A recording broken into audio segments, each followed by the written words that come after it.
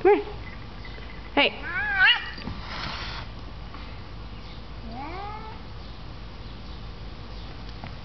Sarah thought Tigre was really good with Poldy. Really? Like, even though he gets annoyed sometimes, he doesn't hurt him. Yeah. Poldy, sit. Come on.